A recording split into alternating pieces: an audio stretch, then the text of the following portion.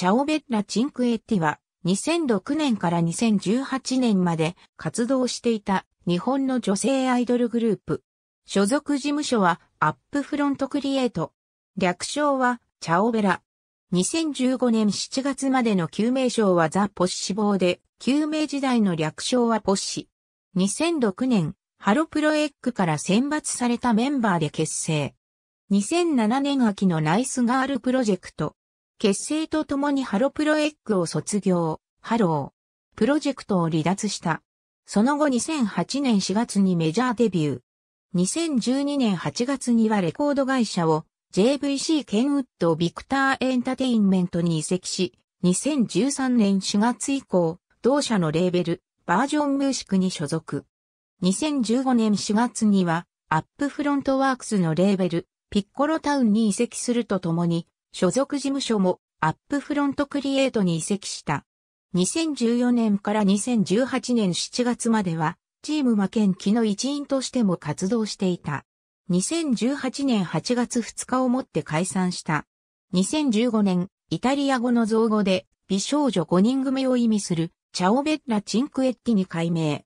秋山の卒業により4人組になった後も、同名義での活動を継続した。旧グループ名、ポッシボーとは、ポッシブルから来ていて、ザ・ポッシブルで、可能性を意味する。結成当初はザ・ポッシボーと称していた。明確な解明発表などはされていないが、2006年10月以降、CD と DVD はザ・ポッシボーとしてリリースされ、短期間2つの故障が混在した。また、ザ・ポッシボーという表記も見られる。一般には単に、ポッシボーと書かれることもある。リーダーは結成以来、長らく決まっていなかったが、2013年4月に岡田ロビン翔子が正式にリーダーに就任。岡田曰く、ポッシボーって、もともとリーダーがいなくて、性格的に私がリーダー的ポジションって言っていたら、面倒いからリーダーでええやんと取締役に言われました。2013年7月31日放送のザ・ポッシボー夜はまだまだ全力ラジオにてファン投票によって橋本がサブリーダーに決定。いわゆる当てぶりをリアルエアバンドと称していた。担当楽器は以下の通り。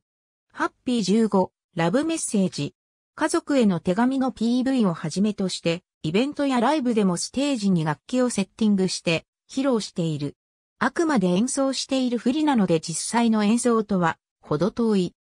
大瀬は簡単なドラムさばきはできるようで、元ザブルーハーツの梶原哲也からドラムの指導をしてもらい、イベントにも登場して演奏したことがある。順位は、オリコンウィークリーチャート。シングルライブ音源シングルとして、ライブ会場と通販のみで販売された。現在は生産終了のため販売されていない。配信限定シングルアルバム収録コンピレーション、ミ CD 化楽曲シングルシングル V、ヤングデイズ、2006年12月30日シングル V、初恋のかけら2007年1月21日シングル V、主食イコールご飯の歌2007年2月25日シングル V、夏のトロピカル娘。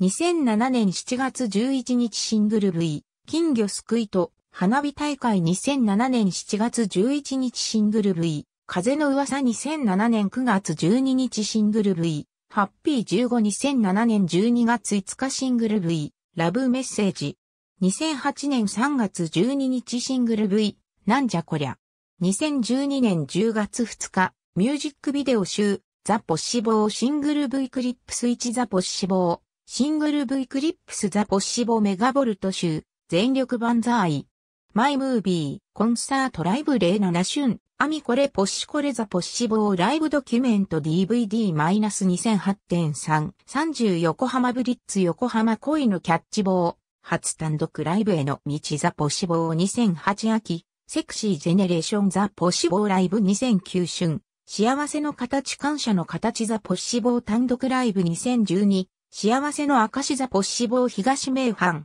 ライブツアー2013勝負合計2222名動員でサンプラを抑え、